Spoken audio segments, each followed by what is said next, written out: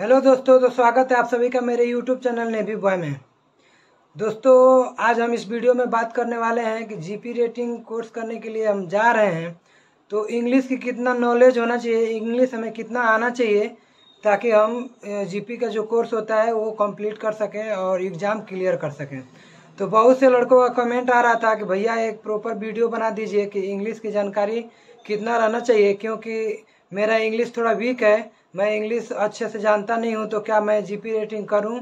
और करूँगा तो फेल होऊँगा या पास थोड़ा इस पर आप एक वीडियो बना देंगे जिससे हमको हमको पता चल जाएगा कि हमें कितना नॉलेज है और हम ये नॉलेज लेके और जीपी रेटिंग कोर्स के लिए जा सकते हैं कि नहीं। जिससे मतलब कंफर्म हो जाएँगे हम कि इंग्लिश कितना आना चाहिए ताकि इंग्लिश जाके और हमें बाद में पछताना ना पड़े कि केवल इंग्लिश में ही पढ़ाया जा रहा है और हम फेल हो जाएँगे। तो उसके पहले हमको, आप आप हमें जानकारी दे दीजिएगा तो बेटर रहेगा। तो इसके, इसी के लिए मैं सोचा कि एक प्रॉपर वीडियो हो जाए इंग्लिश के जानकारी के बारे में, कि इंग्लिश हमें कितना आना चाहिए, कितना इंग्लिश नॉलेज है मेरे पास तो हम जीपी रेटिंग का कोर्स का जो एडमिशन है, वो एडमिशन जीपी रेटिंग में ले लें। तो बने रहिए मेरे साथ वीडियो में, क्योंकि वीडियो में मैं पूरा इंग्लिश का जो भी है बताऊँगा कि कितना नॉलेज होना चाहिए, और यदि मेरे यूट्यूब चैनल पे आप नए हैं तो सब्सक्राइब कर लीजिए मेरा यूट्यूब चैनल, क्योंकि मैं मर्चेंट नेवी से रिलेटेड वीडियो बनाते रहता हूँ।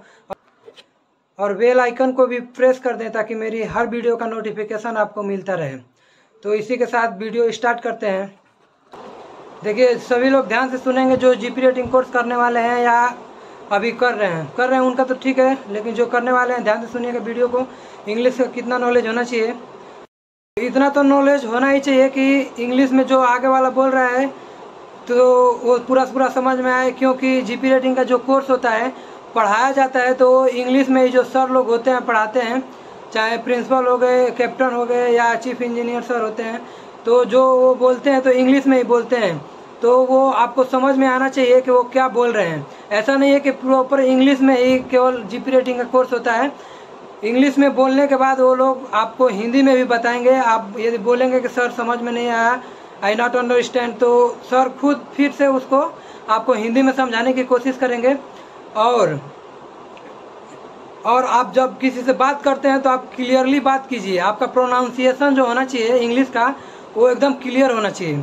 कोई कोई लड़का का होता है जो प्रोनाउंसिएशन जो होता है, थोड़ा वीक होता है, थोड़ा क्या बोलते हैं, उलझन टाइप का होता है जो आगे वालों को समझ में नहीं आता है कि लड़का क्या बोला है।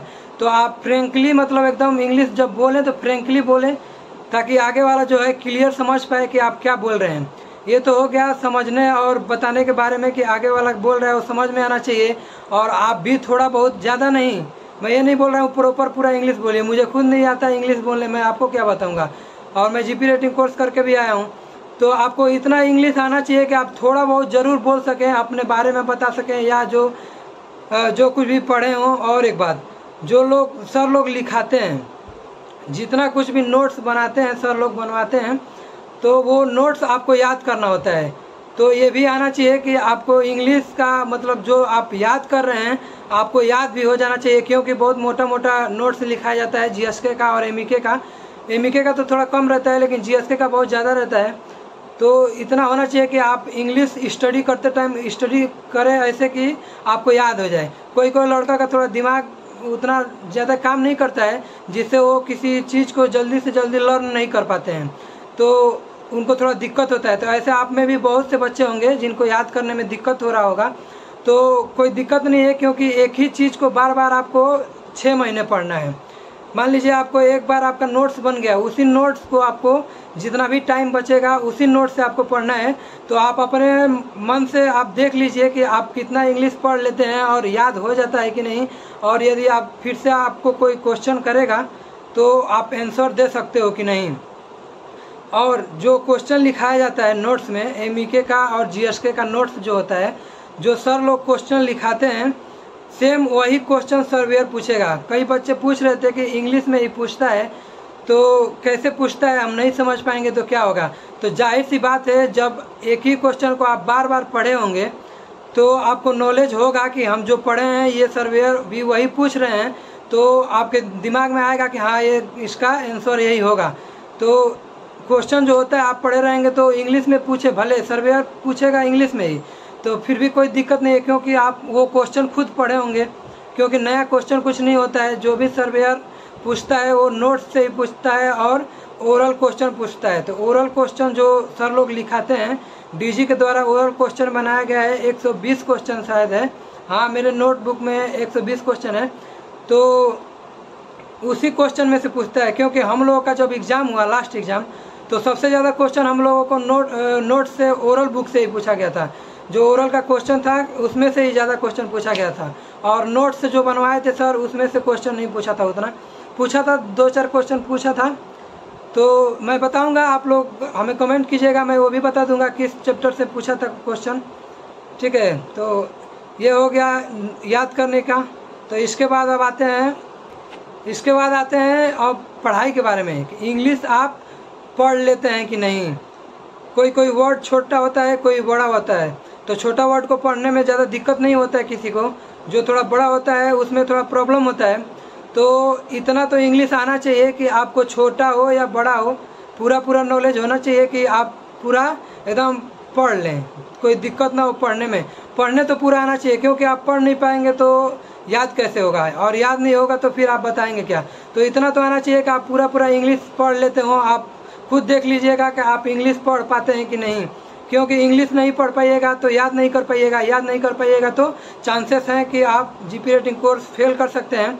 तो आप पहले से यदि आप कमज़ोर हैं तो आप आप जाइए और अपना एडमिशन लीजिए, इंग्लिश का जानकारी लीजिए थोड़ा बहुत, और इंग्लिश अपना थोड़ा बहुत अच्छा हो जाए। जब आपका इंग्लिश आपको लगने लगे कि हाँ मुझे इंग्लिश की जानकारी थोड़ा बहुत हो गया है, उसके बाद आप एडमिशन लें, क्योंकि छः महीने का कोर्स होता है तो कोर्स तो हमेशा होते ही रहेगा। तो मान लीजिए आप पहले एडमिशन ले लिए फेल हो गए, उससे कोई फ़ायदा नहीं है तो आप पहले इंग्लिश की जानकारी ले लें। यदि इतना इंग्लिश जितना मैं, जितना बारे में इंग्लिश के बात किया हूँ, उतना इंग्लिश यदि आपको नहीं आता है कि कोई बता रहा है, क्या बोल रहा है, वो समझ जाएँ या थोड़ा बहुत खुद से भी बोल लें और पूरा पूरा बढ़िया से पढ़ लें। ठीक है, इसके बाद आते हैं कि कुछ बच्चे पूछ रहे थे कि भैया जो सर्वेयर आते हैं, यदि इंग्लिश में पूछ रहे हैं और हम हिंदी में बताएँ तो पास करेगा कि नहीं करेगा? तो इसके बारे में भी मैं बता देता हूँ इसी वीडियो में कि सर्वेयर जो इंग्लिश में क्वेश्चन पूछता है, यदि आपको नॉलेज है उसका, यदि आप इंग्लिश में न बता के और हिंदी में बताते हैं तो कोई दिक्कत नहीं है। सर्वेयर को ये मतलब होता है कि जो लड़का है जिसका इंटरव्यू हो रहा है या जिसका एग्ज़ाम हो रहा है तो जिसका एग्ज़ाम हो रहा है, ये लड़का हमें मतलब आंसर इस क्वेश्चन का आंसर जानता है कि नहीं जानता है। यदि सर्वेयर को भी हिंदी आता है तो आप हिंदी में बताएँगे तो सर्वेयर आपको फेल नहीं करेगा, वो ज़रूर पास करेगा, क्योंकि उसको समझ में आना चाहिए कि ये लड़का को इंग्लिश की नॉलेज थोड़ा कम है, लेकिन जो हम क्वेश्चन किए हैं, इसके बारे में इसे प्रॉपर नॉलेज है। ठीक है? तो आप हिंदी में भी आंसर दे सकते हैं सर्वेयर को, लेकिन एकदम पूरा पूरा हिंदी में नहीं देना है, क्योंकि उसको ऐसा लगेगा कि ये लड़का इंग्लिश बिल्कुल नहीं जानता है तो वो फेल कर देगा। क्योंकि मर्चेंट ने भी आपको अदर सिप अदर कंट्री में जाना है तो अदर कंट्री में जाएँगे तो एक ही लैंग्वेज होता है चाहे किसी भी ओवर वर्ल्ड किसी भी आ, किसी भी देश में चले जाएँ तो एक ही लैंग्वेज बनाया गया जो इंग्लिश हर देश के नागरिक को पता होता है कि इंग्लिश एक ऐसा शब्द है लैंग्वेज है जो सबको आना चाहिए और हर मतलब पूरा देश में बोला जाता है हर कंट्री में बोला जाता है। तो आप हिंदी में भी बता सकते हैं, क्योंकि सर्वेयर इंडिया का ही होता है तो इंडिया में जो भी रहते हैं, उनको हिंदी सभी जितने भी राज्य हैं, सबको हर राज्य के आदमी को हिंदी पता होता है। तो आप कोशिश करिएगा कि जो अभी स्टडी कर रहे हैं, जिनका एग्ज़ाम होगा, जनवरी बैच के पहले, दिसंबर में आप लोगों का एग्ज़ाम होगा तो आप कोशिश करिएगा कि हम हिंदी में बताएँ, लेकिन उसमें इंग्लिश मिक्स करके बोलें, ताकि सर्वेयर को ये ना पता चले कि आपको इंग्लिश बिल्कुल नहीं आता है। ठीक है, यदि आप हिंदी में भी बताते हैं तो कोई दिक्कत नहीं है। आप ज़रूर पास होंगे, लेकिन आपका आंसर जो होना चाहिए एकदम कंप्लीट एक्यूरेट एकदम राइट आंसर होना चाहिए। ये नहीं कि कहानी बनाने बनाने लगे आप हिंदी में भी, क्योंकि और सबसे अच्छा तो ये है कि आप स्टडी करके और याद कर लेंगे तो सबसे बेटर रहेगा, क्योंकि हिंदी में जो लाइन, जो चार लाइन का होता है जो आंसर वो इंग्लिश में आपका दो लाइन में कंप्लीट हो जाता है। तो मैं यही चाहूँगा कि आप मेहनत करिए और स्टडी ज़्यादा से ज़्यादा आप स्टडी हार्ड कीजिए क्योंकि जिससे आपको ज़्यादा आपको बोलना नहीं पड़ेगा और इंग्लिश के छोटे से लाइन आप बोल के और पूरा एक बड़ा क्वेश्चन का आंसर दे सकते हैं। तो अब आपके हिसाब से आप अपना देख लीजिए कैसे आपको पढ़ना है। तो इसी के साथ वीडियो को समाप्त करते हैं, मिलते हैं अगले वीडियो में नए जानकारी के साथ। तो बाय बाय